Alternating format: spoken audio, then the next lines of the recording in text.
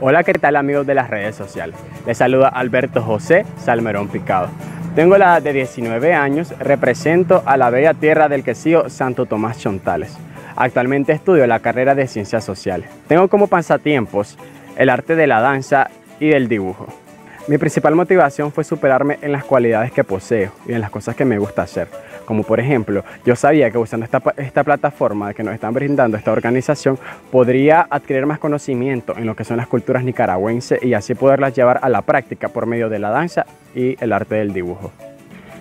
Bueno, en la vida uno sufre golpes fuertes, unos más que otros, pero pienso que las cosas que más han marcado en mi vida ha sido la pérdida de un ser querido como él lo es, mis dos abuelas, tanto como materna y paterna. Pienso que es un golpe bastante fuerte para cualquier persona y es difícil de asimilar la nueva realidad y a la nueva vida que va, que va a estar viviendo sin tu ser querido. Bueno, uno de mis principales deseos sería ser una imagen para todas las nuevas generaciones. En este caso me estoy refiriendo a los niños, que debido a su entorno social no tienen un buen ejemplo a seguir.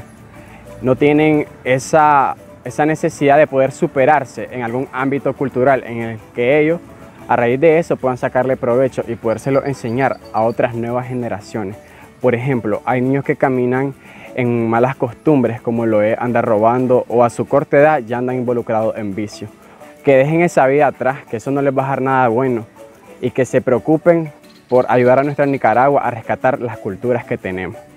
En las redes sociales me pueden apoyar con un me gusta, un comentario y por supuesto compartiendo mis fotos. Pueden entrar a la plataforma social de nuestra organización que aparece en Facebook como Mr. Team Cultura Chontales 2020.